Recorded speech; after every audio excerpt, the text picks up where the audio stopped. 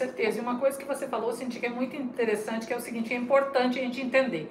Existe uma diferença entre o marketing e o branding, né? O marketing é aquela, aquele, aquela ferramenta, né, que vai fazer você chegar mais rápido, né? Alcançar clientes mais rápido, lotar a agenda mais rápido, é, ter clientes querendo comprar mais rápido. Só que o branding, ele faz você é, atingir outros níveis. Ou seja, você vai gerar memória e significado na vida das pessoas. Você vai transformar a vida das pessoas. Você não vai só vender um produto ou um serviço, você vai fazer mais do que isso. Você vai deixar um legado para essas pessoas.